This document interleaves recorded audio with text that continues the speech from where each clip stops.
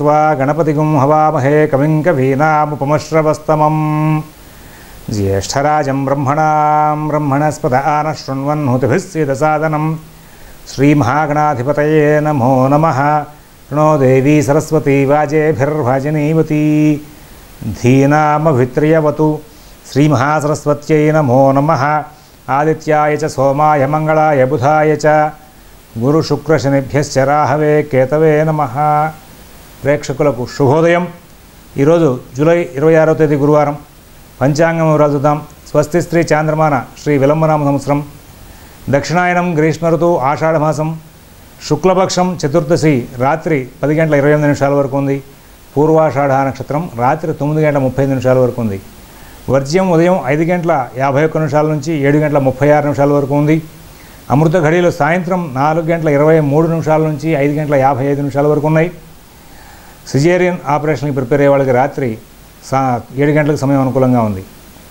అలాగే మరి విజయవాడకు సూర్యోదయం ఐదు గంటల నలభై నిమిషాలకు సూర్యాస్తమయం ఆరు గంటల ముప్పై రెండు నిమిషాలకు. రేపటి రోజున సిజేరియన్ ఆపరేషన్కి సంబంధించి సాయంత్రం ఏడు గంటలకు సమయం అనుకూలంగా ఉంది. ఇవాళ శని చంద్రువులు ఇద్దరు కూడా ధనస్సులో ఉన్నారు.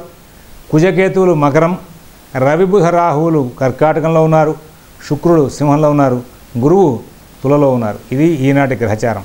మరి ఇక ఈ గ్రహచారం రీత్యా పన్నెండు రాసుల యొక్క గోచార ఫలితాలు చూసేటప్పుడు ముఖ్యమైన అంశాన్ని ఉదాహరణ ప్రస్తావన చేయాలి. రేపటి రోజున గ్రహణం ఉందండి. రేపు రాత్రి పదకొండు గంటల యాభై నాలుగు నిమిషాలకి గ్రహణం ప్రారంభమవుతుంది.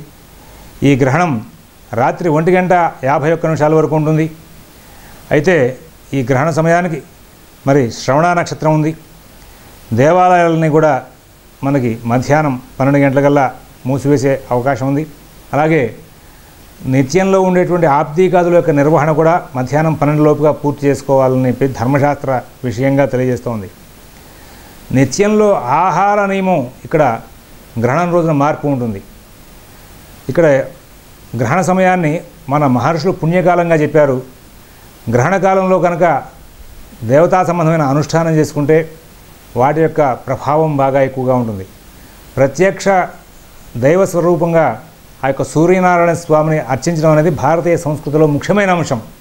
నిత్యంలో కూడా సంధ్యావందనాది ప్రక్రియలు చేస్తూ ఉంటారు. దేవతల్ని ఎంతమందిని ఆరాధించినా సంఘంలో ప్రథమ స్థానంలో ఉండాలి అంటే కనుక సూర్య ఆరాధన ఒకటే దిక్కు ఇది పురాణ వాక్యం.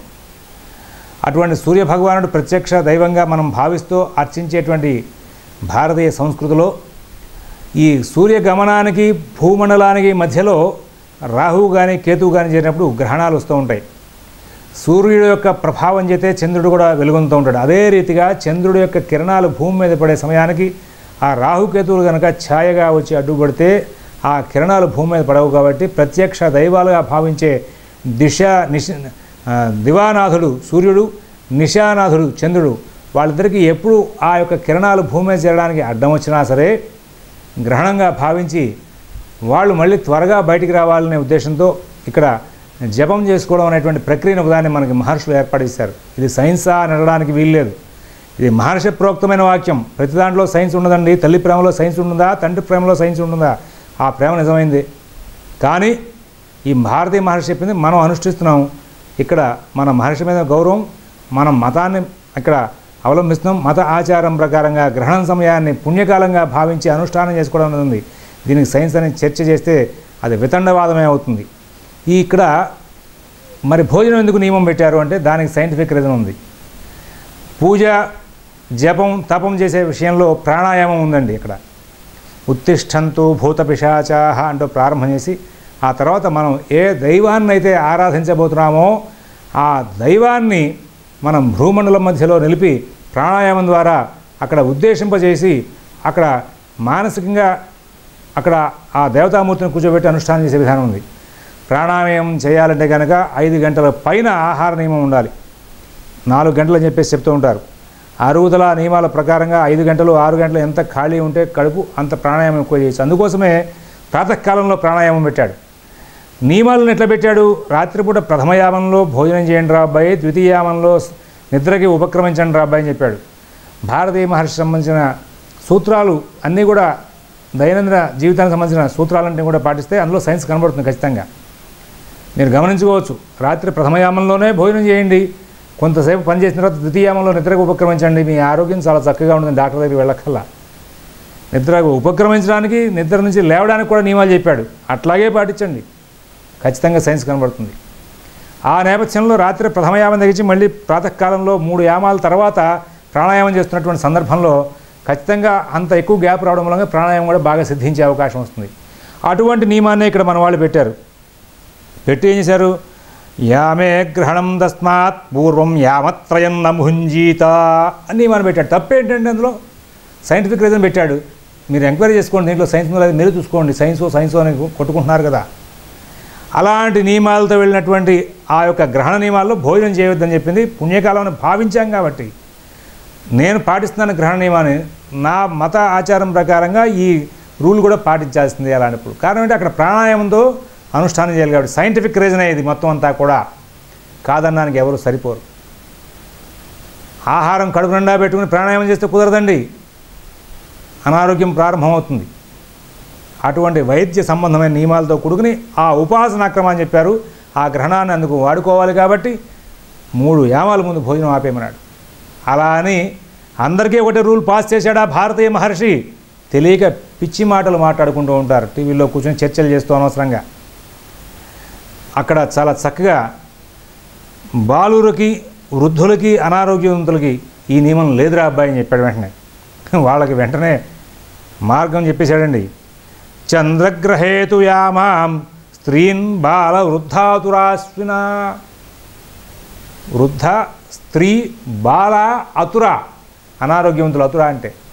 ఇంత సరళంగా అర్థమయ్యే రీతిలో చక్కటి మాటలు చెప్తే రాత్రి పన్నెండు గంటలకు వెళ్ళి భోజనం చేయాలా తప్పనిసరిగా? మేము గ్రహణ టైంలో భోజనం చేస్తామని చూపించాలా? ఇదే మనకు భారతీయ మహర్షి చెప్పిన నియమం.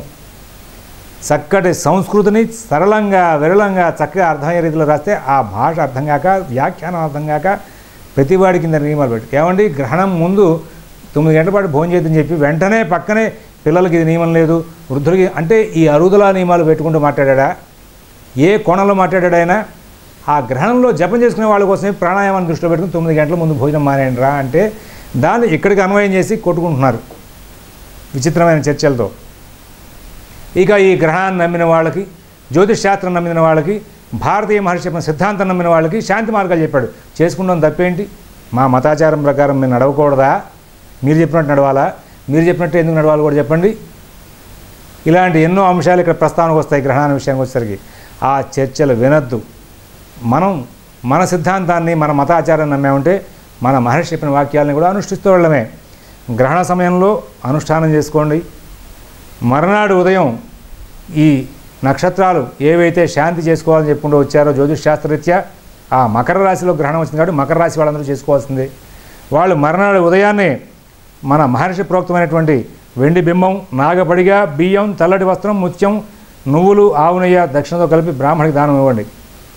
దానానికి సంకల్పం చెప్పేటప్పుడు మమ్మ జన్మరాశి జన్మ నక్షత్రవశాత్ జరిష్ట స్థిత స్థా జరిష్ట స్థాన స్థిత గ్రహణ సూచిత సర్వారిష్ట ప్రశాంతి పూర్వక ఏకాదశ స్థాన స్థిత గ్రహణ సూచిత శుభఫల ప్రాప్త్యర్థం బింబదానం కరిష్యే అని చెప్పి ఆ సంకల్పం చేయండి. దానం ఇస్తూ తమోమయ మహాభీమ సోమ సూర్య విమర్దన హేమతారా ప్రదానేన మమ శాంతి ప్రదోభవ విధుంతుద నమస్తుభ్యం సింహికానందనాచ్యుత.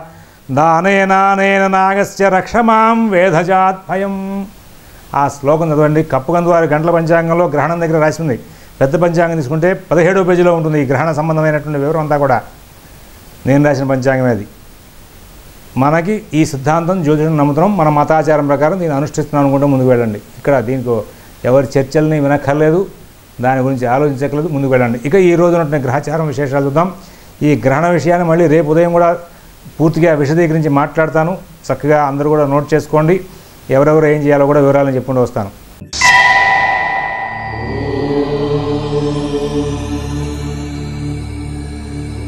ఇక ఇవాళ గురువారం నాటి గోచార ఫలితాలు. మేషరాశి.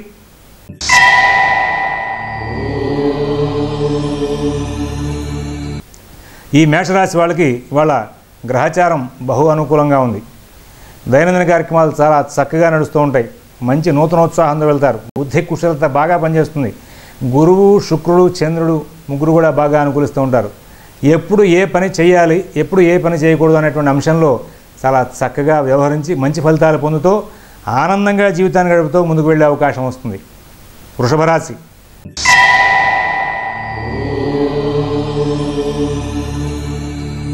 ఈ రోజున వృషభ రాశి వాళ్ళు ప్రతి అంశంలోనూ కూడా చాలా చక్కటి విషయాల్ని పరిగ్రహించే అవకాశం వస్తుంది. ఆలోచనలు చేసే అవకాశం వస్తుంది. కానీ అమలు చేసే విషయంలో మాత్రం భయాందోళనలు బాగా వెంబడిస్తూ ఉంటాయి. బుధ శుక్రులు బాగా బలంగా అనుకూలంగా ఉన్నారు కదా. ఈ నేపథ్యంలో చక్కగా ఆలోచన చేస్తారు. కార్యోన్ముఖుల వాసన సందర్భానికి వచ్చేసరికి ఈ అష్టమ శని నవమ కుజుడు యొక్క ప్రభావం చేత ఏ పనికి కూడా శ్రీకారం చుట్టకుండా పనులు వైఫల్యాన్ని ఇస్తున్నాయే అనేటువంటి బాధకి దగ్గరయ్యే అవకాశం ఉంటుంది. నిత్యకృత్యాల్లో ఇబ్బందులు ఉంటాయి. ఉద్యోగ విధి నిర్వహణలో ఇబ్బంది ఉంటుంది. వ్యాపారస్తులకు కూడా చికాకులు నడిచే అవకాశం వస్తుంది. అలాగే ఆర్థిక ఆరోగ్య అంశాల్లో కూడా మీకు ఈ రోజున సంతృప్తికరమైనటువంటి ఫలితాంశాలు వచ్చే అవకాశం లేదు. దీనికి కారణం ఏమిటంటే మీ మానసిక వ్యవస్థే. కాబట్టి వాళ్ళ రోజున ధైర్యంగా ప్రతి కార్యక్రమాన్ని నేను సాధించుకోవాలి ఇది నా కార్యక్రమం అనేటువంటి భావనతో ముందుకు వెళ్ళండి. ఎన్నో చక్కటి ఫలితాంశాలను పొందే అవకాశం వస్తుంది. మిథున రాశి.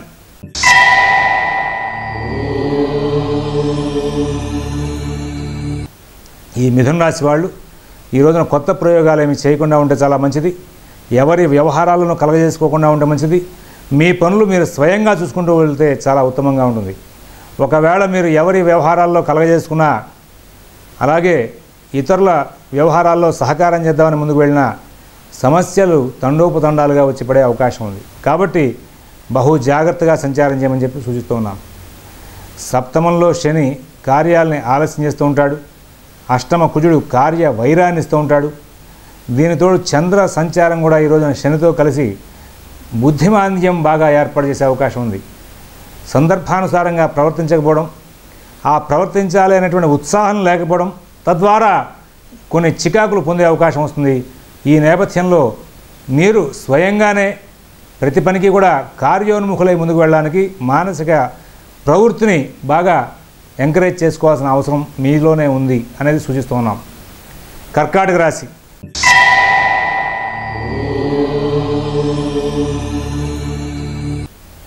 రవి రాహు కుజకేతుల యొక్క సంచారం అనుకూలంగా లేకపోవడమే కాకుండా ఈ రోజున మరి చంద్రుడి యొక్క సంచారం కూడా శనితో కలిసి షష్టంలో ఉంది. సహజంగా ఈ రోజున మీకు సంబంధించి ఏ కార్యక్రమాన్ని కూడా ఉత్సాహంగా చేసే లక్షణాలు మీకు ఉండవు. దీనితోడు శుక్ర గురువుల యొక్క సంచారం బాగుంది కాబట్టి ఖచ్చితంగా కుటుంబ విషయాల్లో మాత్రం మంచి ఫలితాలు ఉంటాయి. ఉద్యోగ వ్యాపారస్తులకు మాత్రం ఈ ఉద్యోగ విషయంలో వ్యాపార విషయంలో సరైన నిర్ణయాలు చేయలేకపోవడం సమయ పాలన చేయలేకపోవడం అలాగే అధికారుల ద్వారా ఒత్తిడికి గురవడం జరుగుతూ ఉంటుంది. ఆర్థికంగా ఆదాయం బాగున్నప్పటికీ కూడా ఖర్చులు మీ పరిధిలో లేకపోవడం మూలంగా కొంచెం అవి కూడా ఆర్థిక విషయాలు మానసికంగా కొంచెం ఇబ్బందిని కలగజేసే విషయంగా నడుస్తూ ఉంటుంది. అలాగే ఈ రోజున విదేశీ నివాస ప్రాణ ప్రయత్నాలు వంటి పెద్ద పెద్ద వ్యవహారాల్లో కూడా అనుకూల స్థితి చాలా తక్కువగా ఉందనే చెప్పాలి. సింహరాశి.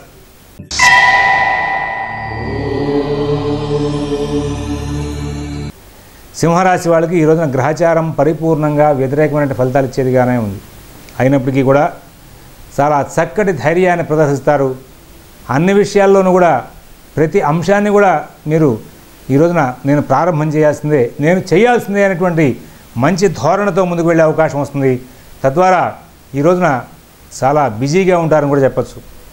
ఒక్కొక్క పని ప్రారంభం చేసిన కారణంగా మొదటి ప్రయత్నంలో అవ్వకపోవడం మళ్ళీ రెండో ప్రయత్నం చేయడం ఇలాగ ఒకటి రెండు సార్లు చేయడం తద్వారా కొంచెం ఈ రోజున శ్రమతో కూడుకుని అలాగే ఎక్కువగా మరి ఒకటి రెండుసార్లు పనిచేయడం మూలంగా కాలక్షేపం బాగా అవుతూ ఉంటుంది. ఫలితాంశాలు మాత్రం సానుకూలంగా ఉండవనే చెప్పాలి. ఈ ధైర్యయుక్తమైన బుద్ధి అన్ని అంశాలను ప్రదర్శిస్తారు. తద్వారా ఈ రోజున ఈ సింహరాశి చెందినటువంటి వాళ్ళు అందరూ కూడా సుఖంగానే ఉండే అవకాశం ఉంది. కన్యారాశి.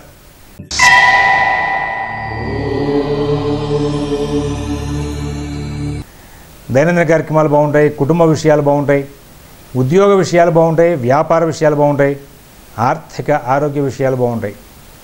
విదేశీ నివాస ప్రాణ ప్రయత్నాలు స్థిరాస్తి కొనుగోలు ప్రయత్నాలు కోర్టు వ్యవహారాలు రుణ వ్యవహారాల్లో కూడా చాలా చక్కటి ఫలితాంశాలు వస్తూ ఉంటాయి. మంచి జీవనం మంచి ఫలితాలతో ముందుకు వెళ్ళే అవకాశం వస్తుంది. తులారాశి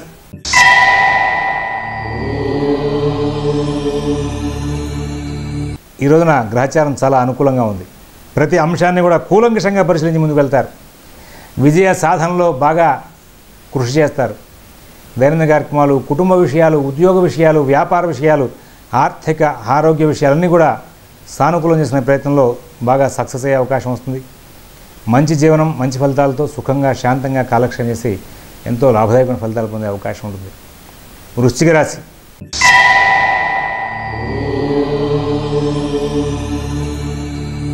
అవాంతరాలు అడ్డంకులు బాగా ఉంటాయి. అయినప్పటికీ కూడా విజయాలు సాధిస్తారు.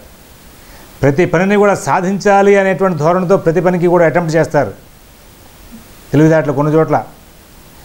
ఉన్నటువంటి మాన మనిషి యొక్క సహకారం ఎవరితో అయితే సహకారం ఉండే వాళ్ళందరినీ కూడా ఈ రోజున వినియోగించుకుంటారు. తద్వారా కార్యాలంటే కూడా సానుకూలం చేసుకునే ప్రయత్నంలో ముందుకు వెళ్తారు. విదేశీ నివాస ప్రయత్నాలు స్థిరాస్తి కొనుగోలు ప్రయత్నాలు కోర్టు వ్యవహారాలు రుణ వ్యవహారాలు కూడా మంచి జీవనం సాగించే అవకాశం ఉంది. మంచి ఫలితాలు పొందే అవకాశం ఉంది. సత్ఫలితాలు తీసుకుంటూ ముందుకు వెళ్ళే అవకాశం ఉంది. ధనురాశి.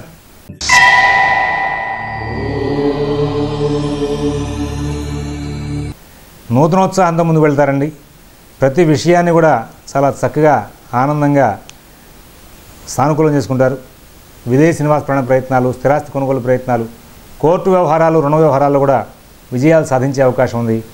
అభివృద్ధి పదంలో ముందుకు వెళ్ళే అవకాశం ఉంది. మకర రాశి.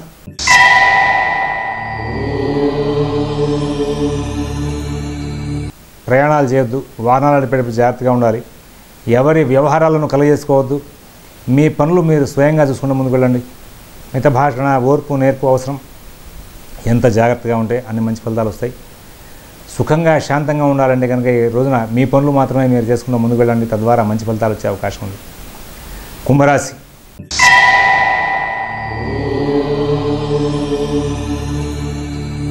చాలా జాగ్రత్తగా ఉండాలండి. ఎవరి వ్యవహారాల్లో కలజేసుకోవద్దు మీ పనులు మీరు స్వయంగా చూసుకుంటూ ముందుకు వెళ్ళండి. మిత భాషణ ఓర్పు నేర్పు చాలా అవసరం. అలాగే పనులు చాలా సానుకూలం అవుతున్నట్టుగా కనబడినా ఏ కార్యక్రమానికి కూడా తొందరపడి ముందుకు వెళ్ళదని చెప్పి సూచిస్తున్నాం. దైనందిన కార్యక్రమాలు కుటుంబ విషయాలు ఉద్యోగ వ్యాపార ఆర్థిక ఆరోగ్య విషయాలన్నింటిలో కూడా ప్రత్యేకమైన శ్రద్ధ జాగ్రత్త కనబరచాలి. మిత భాషణ ఓర్పు నేర్పు చాలా అవసరం అని చెప్పి సూచిస్తూ ఉన్నాం. మీనరాశి.